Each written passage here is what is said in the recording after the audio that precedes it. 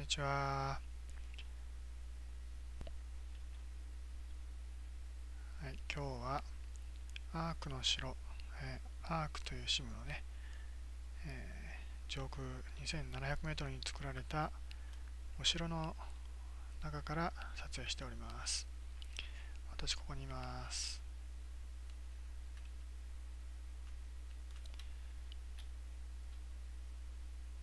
はい、こんにちは。はね、お城の、まあ、3階になるんですが、こんな感じで周りの風景は幻想的な感じになっております。えー、そして、ちょっとこちらの方行ってみましょう。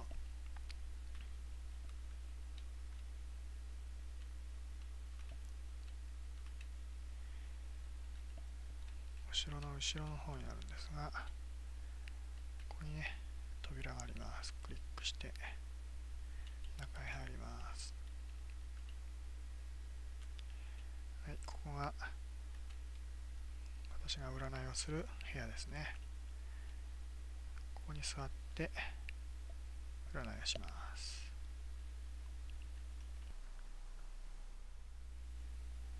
では今日も、えー、タロットカードを1枚めくっておしゃべりしてみましょうえー、今日はねこのアークのシムのお城で占いをすることについて、えー、カード1枚めくって占ってみましょう、えー、まあ、1週間ほどやるんですが、えまあ、どんな感じの、えイベントになるでしょうかとそういう質問で占ってみましょう。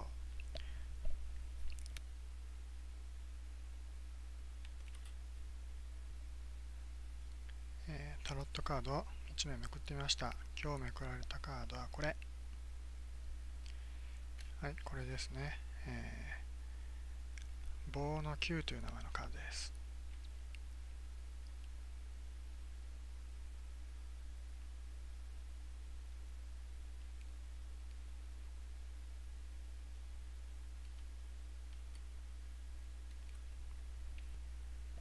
えっ、ー、と、1本の棒を杖のようにしてねなんかもたれかかって立ってる人がいますね、えー、頭には白い、えー、布というか包帯のようなものも開いてます、えー、その人物の後ろに8本の棒がねまっすぐ、え地上に立てられています、えそんな感じのカードですね、えこれはね何かいろんな、まあ、今までいろんなね経験とか積んできてあるいはいろんな準備をしてきて、えー、あとはね結果を待つばかりとなんかそんな感じの意味を持ったカードですね、えー、まあ、今回の、えー、このアークのシムのお城での占いねこれもどういうことだろう。なんか突然降って湧いたようなお話だったんですが、えー、なんだろうね。今までなんか自分がやってきたことの結果としてここにこういうイベントができたという。まあそういう気は全然しないんですがなんかそういうことを表してるんでしょうね占い結果としては、うん、まあというわけで、えー、ある意味このイベント何かの前兆というかねこの後さらに、えー、もっとね、えー、良い結果というか、えここでの成果がさらに良い結果をもたらしそうもたらしそうなねそんな感じもします。なので、まあ、これから先ね、えー、この後の、イベントが終わった後のことにちょっとね、期待できそうな気もします。まあ、ここではね、とりあえず、まあ、実験的な意味で、えー、イベント、まあ、イベントという形でね、えー、占いをさせてもらってるんですが、まあ、ここでのノウハウを生かして、まあ、今後につなげると、そういう意味では、まあ、ここでのね、えー、まあ、いろんな成果を生かして今後につなげると。そういう、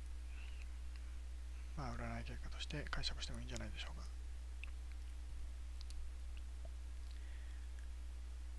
まあ、なんかね、頭に包帯巻いて、ちょっとこのね、人はなんかお疲れ気味みたいな感じですが、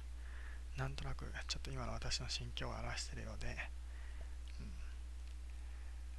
まあ、まさにその通り。みたいな感じですかね。うん。まあ、今はね、ちょっとね辛いところですがその辛いところを乗り越えて、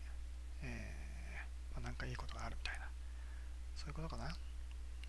まあ、そんな感じで解釈しておきましょう。では今日はこんなところで。